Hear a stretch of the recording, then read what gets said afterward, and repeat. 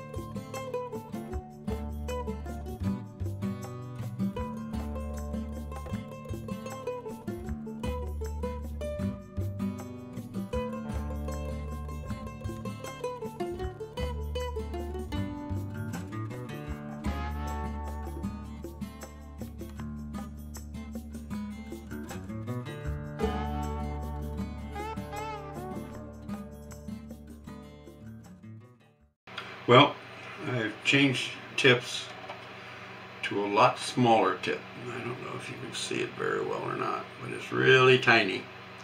And I'm going to do that for some of the detailed work, like the gills, the gills and the mushroom and the, the caps here and, and some of the accent lines. Try it on the grass. To, the spots on the mushroom. I'm gonna, this is all new to me. I have a, a Razertip SK with the changeable tips on it. Um, it is uh, just unbel unbelievably light and easy to maneuver and the heat is just there all the time so that uh, Razertip is a unbelievably great machine let me tell you well let me get the camera set up overhead and uh, we'll get after it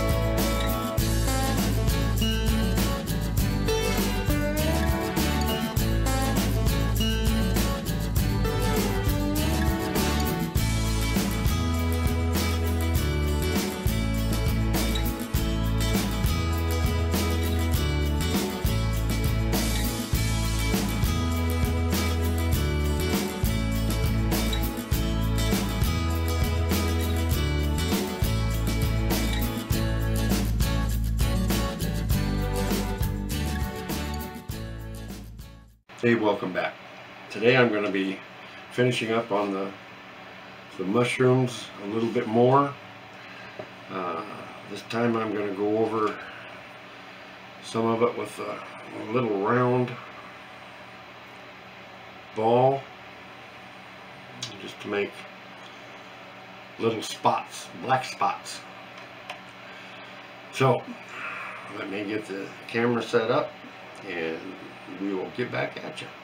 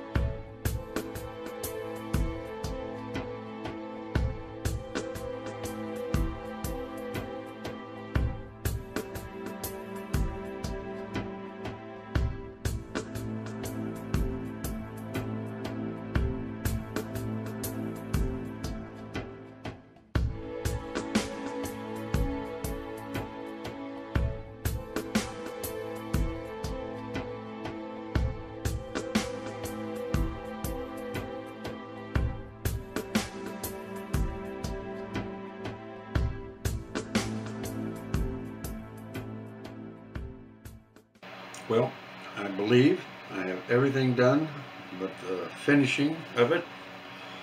Uh, that's the way it's, it's going to be. Now I have to put the polyurethane over the top of it. Got a couple little places I need to clean up yet, but um, I think that's that's about it not too bad, I guess. Not too bad for my first thing of mushrooms. Um, kind of like it. Kind of like it. So, I hope all you guys have liked it. So let me uh, end for the day. I'm going to go inside and it is way too hot to go outside and try to spray anything today. So, tomorrow, I think tomorrow, I think it's supposed to be 101 tomorrow again. Uh, not supposed to get cooler until this weekend, but I need to I need to finish this, so probably have to get up early in the morning and come out and, and spray it. So I will see you when I get there. Okay? All right. Bye-bye. Okay, what I'm going to do is I am going to spray this now with clear semi-gloss polyurethane.